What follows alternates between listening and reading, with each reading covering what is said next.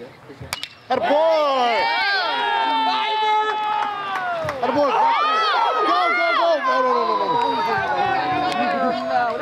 no. Atta boy, Zachary!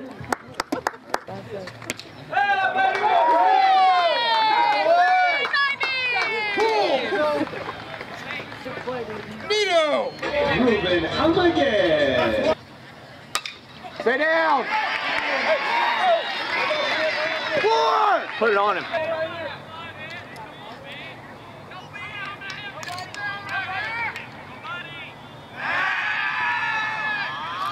Hayden, you came around well on that dinger. Were you waiting for any pitch in particular tonight? Uh, I was just looking for something up and uh, got it and put a good swing on it. Now you are one of the upperclassmen and leaders in a sense on this team. How do you feel the team came out tonight and responded overall? Uh, we got to show up tomorrow. Um, didn't threaten enough in the later innings and uh, got to show up tomorrow and do better. Okay, Sebastian, first of all, give us a little background on how you developed your pitching mechanics. Uh, I don't know. Just it's always been like that since I was a kid. Just trying to incorporate more of a push off, and then it just led to more things. But I mean, that's part of it. Now talk about the offseason. What was competition like getting the starting position to be a pitcher tonight for the first game? Um, it, I mean, it's like any other game. I mean, it's the first game of the season, but I mean, you just gotta play it like it. You play it the whole your whole life. Now, what was working for you tonight on the field?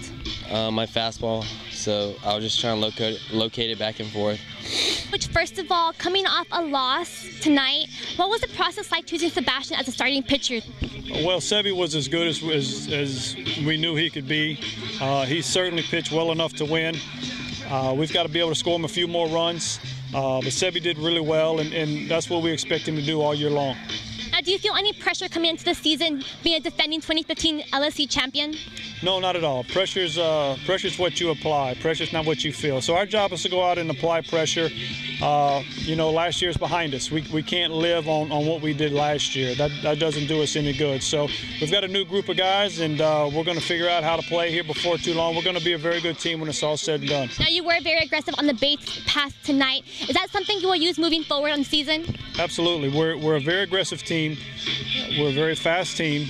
Um, it didn't work out tonight, but we're going to continue to, to, again, like we talked about, we're going to continue to apply a lot of pressure. Thank you. Now, the Javelinas did fall short to the Oklahoma Christian Eagles 4-2-3. Now, the Eagles did come back in the ninth inning to score three runs, giving them the lead. The Javelinas do play them tomorrow here at Nolan Ryan Field at 1 for a doubleheader. Thank you so much for watching here in Kingsville, Texas. I'm Teresa Desma.